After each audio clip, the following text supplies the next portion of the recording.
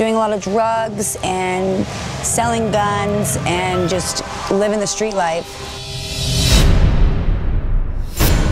And your body itself doesn't want to accept it, and your mind doesn't want to accept it.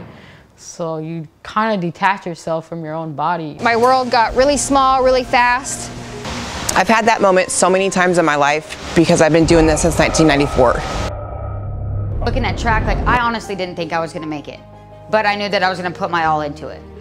Uh, I tried out for TRAC and I got in and it blew me away. TRAC has had the most impact on my life.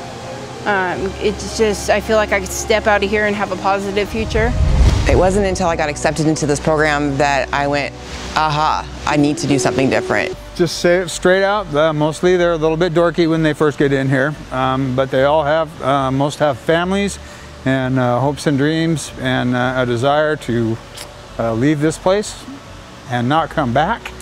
There's financial literacy that we learn. There's um, soft skills, so we build a resume and a portfolio and to take out with us. Uh, each week we would get mock paychecks from Steve, from our TRAC instructor, and uh, uh, he would have us like put a truck payment on there, rent, groceries, da da da. So we learned kind of how to like manage money. The possibilities are endless. I know no matter where I go that I will have a support system joining the union.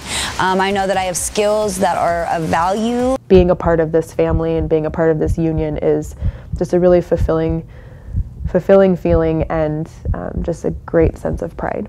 The help that I've gotten to get this job and have this opportunity is beyond anything I could have comprehended. It's amazing. It's amazing that somebody that just got out of prison could have that, you know?